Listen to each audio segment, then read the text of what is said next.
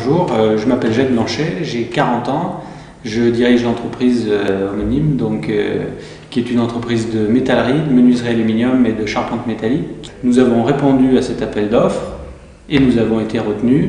Donc bon, ça c'est une, une, chance parce qu'aujourd'hui le, le chantier qu'on a réalisé est un chantier très technique et ça nous a permis de, nous, de réaliser des ouvrages qu'on n'a jamais réalisés qui sont uniques.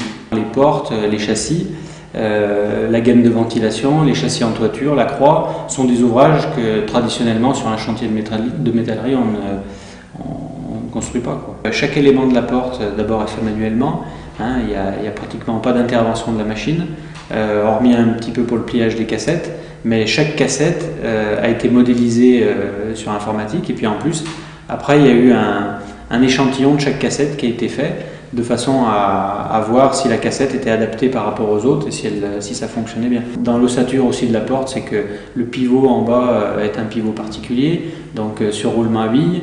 Euh, il a fallu intégrer la serrure dans la géométrie de la porte. Donc ça, c'est, il a fallu, si vous voulez panacher les normes en vigueur sur la sécurité, qui n'existaient pas et qui n'étaient peut-être pas aussi contraignantes à l'époque, et il a fallu adapter euh, ces normes-là aujourd'hui dans un contexte qui géométriquement d'une porte euh, un peu ancienne n'était pas forcément adapté. On a été aussi, aussi assez intéressé par le challenge qu'ont relevé les élus locaux d'Innocinérie et, et Saint-Étienne Métropole parce qu'il fallait être courageux pour terminer un ouvrage comme celui-ci. Donc forcément, nos salariés sont très très intéressés, très motivés. C'est un plus pour l'entreprise parce que si le chantier euh, se passe très bien jusqu'au bout pour nous comme il a commencé, eh bien c'est une référence. Et je suis fier que, que l'entreprise ait participé à ce projet parce que euh, c'est vraiment un projet atypique. Bon, je vous ai dit tout à l'heure qu'on avait réalisé la gare TGV de Satolas, qui était déjà avec Calatrava un, un projet euh, très spécial, très spécifique, qui avait été pour nous euh, une rampe de lancement. Hein.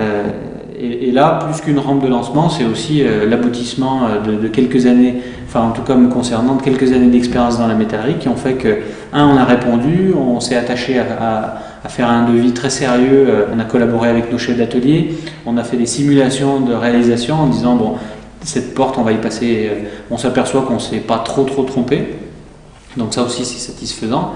Euh, mais je pense que ça restera euh, un des chantiers les plus, euh, les plus marquants, en tout cas pour, pour moi et puis pour l'entreprise.